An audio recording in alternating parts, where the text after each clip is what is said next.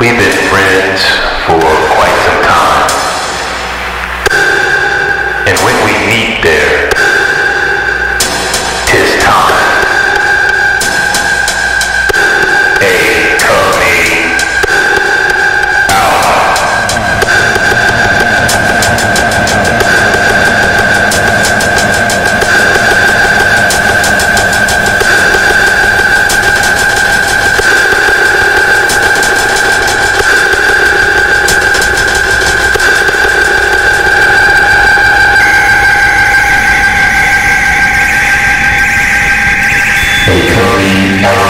nothing is hidden.